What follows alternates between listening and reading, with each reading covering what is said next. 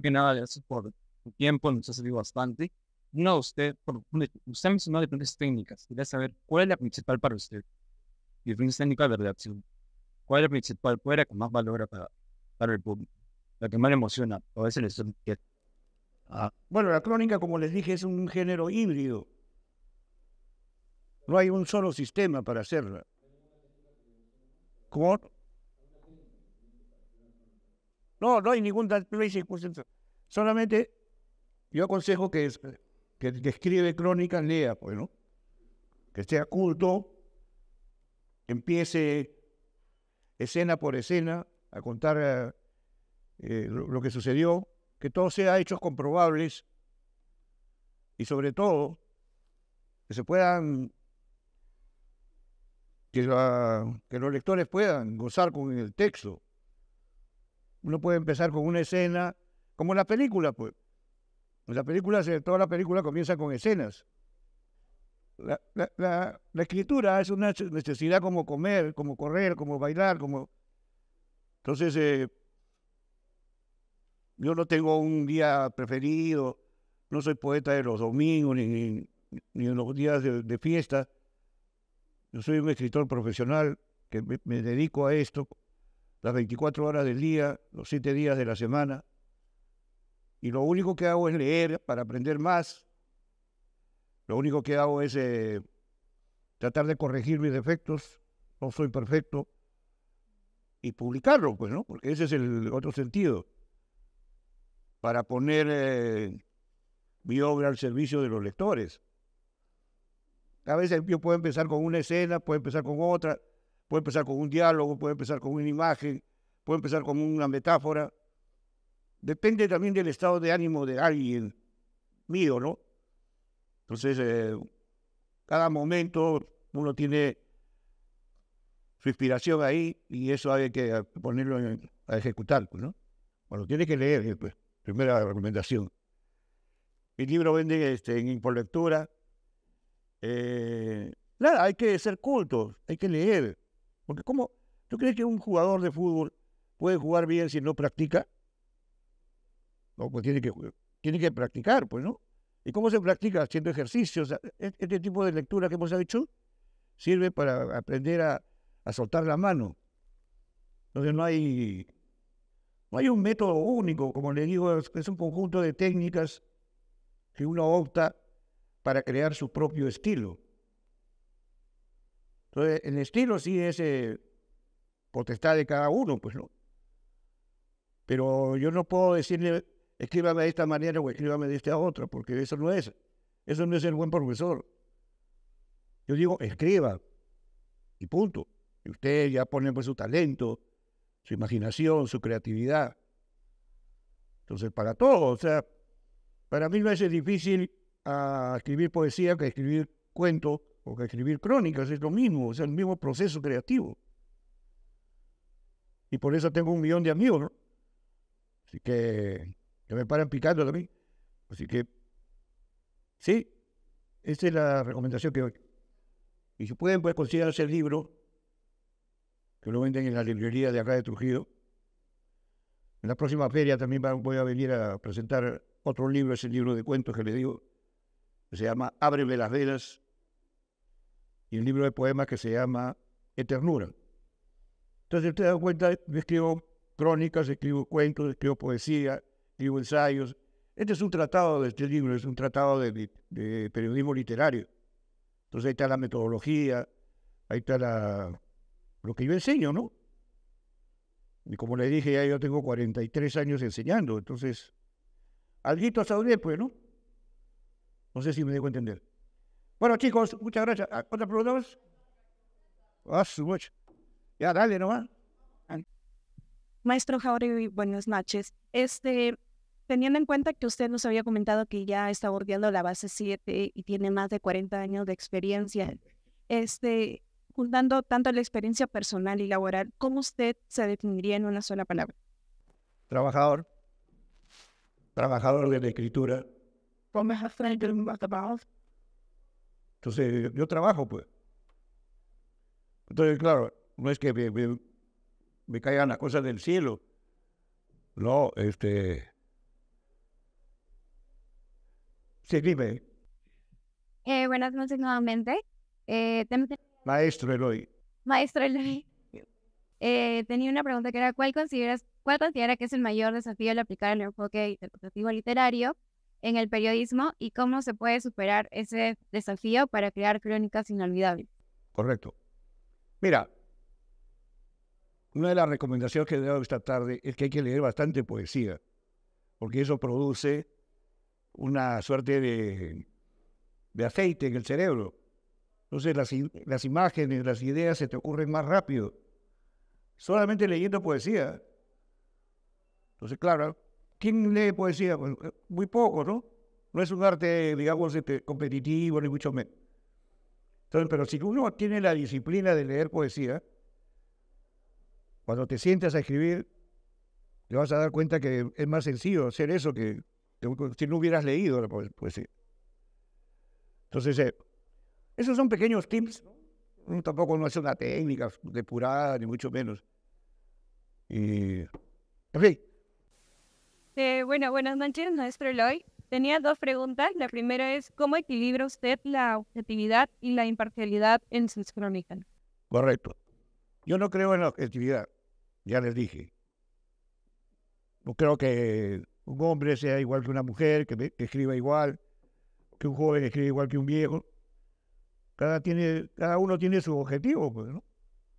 Lo que sí quiero es recalcar que debo ser imparcial. O sea, si yo hago una entrevista a alguien, tengo que ser a su contrario, o a su rival, o a su antagónico. Entonces, a, a cada uno le doy el espacio que necesita. O sea, que, se lo ha ganado, ¿no? Porque yo me si yo escribo sobre alguien, es porque me ha llamado la atención. Entonces, uno tiene que también funcionar así, o sea, ¿qué cosas lo que te llama la atención? ¿Y por qué te llama la atención? Entonces, a veces este, uno se levanta y quiere escribir y, y la página está en blanco. Y no sale, pues. Entonces dice, ¿qué pasa? ¿Por qué soy tan bruto? Y a veces que no sale, pues. Entonces tengo que esperar algún día y ahí ya mejora la cosa.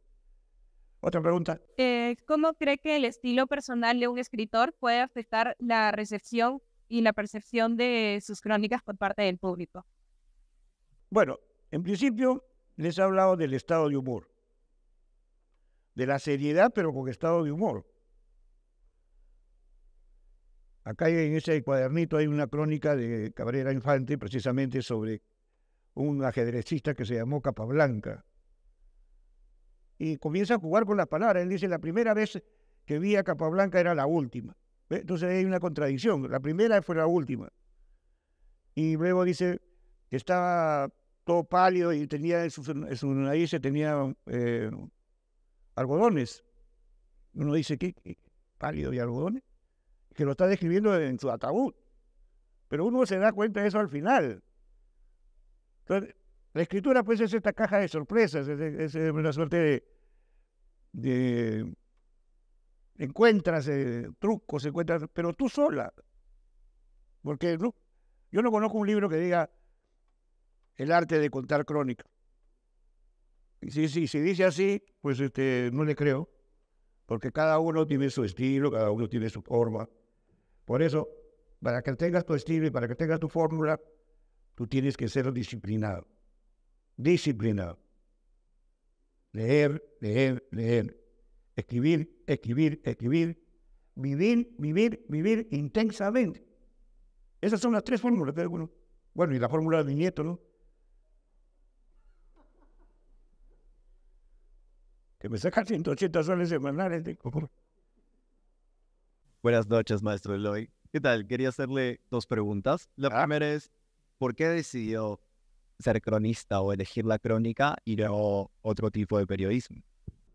Bueno, siempre me ha cautivado la crónica porque es una historia bien contada, bien trabajada, bien armada. Es una estructura, es un, es un edificio, como les dije. Entonces eh, yo leía a Sofocleto, por ejemplo, a, periodistas antiguos, ¿no? Y a Mariátegui, a Vallejo, que son- fueron cronistas. Y después a Antonio Cineos, a Julio Ramón Ribeiro, porque también tuve la facilidad de conocerlos, porque iban a mi casa a almorzar. Eran muy amigos de mi padre que tenía esa librería que les digo yo en el parque universitario. Y mi padre cocinaba los domingos. Y ahí llegaban ellos y llegaban músicos. No el grupo 5, no. Llegaban músicos como Raúl García Zárate, Jaime Guardia, músicos folclóricos. Entonces, yo estaba feliz porque vivía en una suerte de universidad cuando estaba en primaria, que escuchaba a los viejos maestros y me quedaba con la boca abierta, pues. Y luego el cine, ¿no? Como no tenía plata, yo tenía un amigo que era portero en un cine y me dejaba entrar a la mitad de la película, con un sol. Entonces tenía que adivinar yo qué miércoles había pasado antes que que yo ingresé al, cine. Y eso también me dio curiosidad por tratar de desentrañar esa historia. ¿no? O sea, la vida pues así, llena de sorpresas, llena de sortilegios, llena de felicidades, llena de tristezas. Eh, yo no he podido escribir, por ejemplo, una crónica sobre la muerte de mis padres. No, me sale. Pero sí he escrito sobre otros muertos, si la mayoría de esos amigos de mi viejo ya están muertos. Entonces, sobre ellos sí hay perfiles. La crónica tiene otro subgénero que se llama el perfil, que es cuando tú describes a un personaje, lo pintas como es él, y le sacas el. Entonces, obviamente, ahí está yo, por ejemplo, descubrí a los Chapins, que era un, conjunto de chicha que, que, vivían por la parada en, en Lima. Y yo soy el primero que le escribió cuatro páginas en una revista que se llamaba Quehacer. Y gracias a, esa, ese texto, eh, ellos se hicieron conocidos y yo me hice borracho porque paraba en sus fiestas y, y me, me pagaban con caja de chinas. bueno, hay todas estas cosas que le pasan a uno, pues, ¿no? Yo no soy un santo, pero tampoco soy demonio, ni soy ladrón, ni soy corrupto. Quisiera ser picaflor y que tú fueras clavel, así decía un güey. Otra. Realmente, en base a lo que me ha dicho, ¿qué es lo mejor de ser un cronista y hasta dónde lo llegó? que construyes historias. La gente no se da cuenta.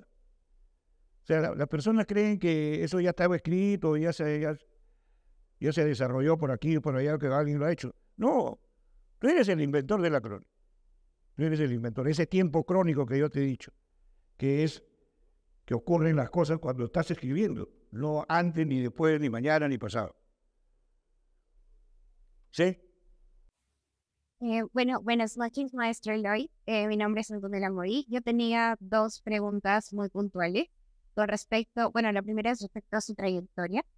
Eh, ¿Qué desafíos considera que lo han hecho fortalecerse como cronista y periodista? Que, insisto, era mi compromiso con la lectura.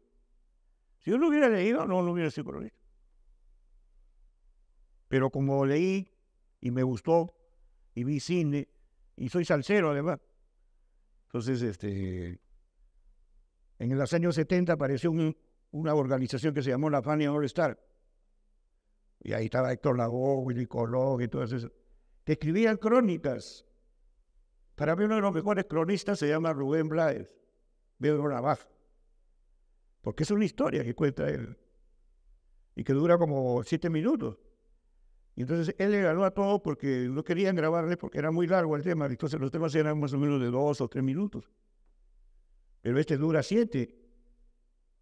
Y ahí está, pues. Nadie se ocurrió, ni mucho menos. Por la esquina del. Sí. Entonces, este. ¿Otra?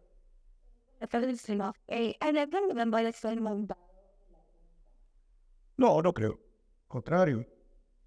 Todo debe ser contado todo.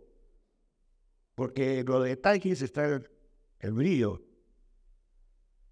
Entonces, por ejemplo, yo te voy a recomendar a un, un escritor que se llama, ah, no, no, me dice que el corregidor, Adán Felipe Mejía, ya murió otro en los años 50, güey. Adán Felipe Mejía escribe crónicas sobre comidas. Escribía pero es tan sabroso su lectura que tú cuando lees parece que estuviera comiendo un chupe de camarones.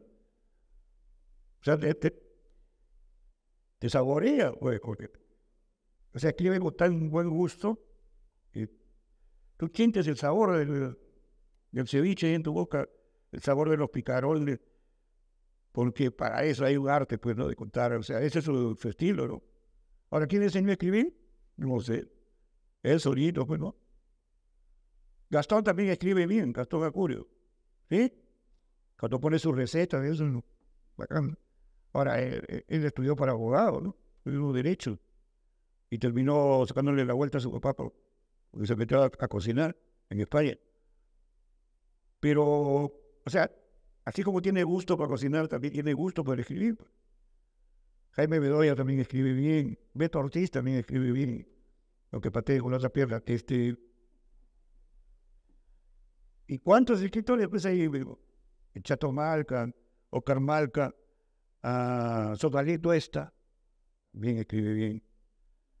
Entonces, eh, y son, son chicos que, que yo, bueno, sido mis alumnos, ¿no? Entonces yo los he querido mucho y les he aconsejado. Y ahí está, pues los tienen libros. Y eso es una maravilla, porque cuando tú ves que un amigo publica su libro, no es que te tengas envidia, no, al contrario, te alegra, pues, porque tú le, has metido esa pila, tú le has, has enseñado. En fin. ¿Cumplí? Correcto.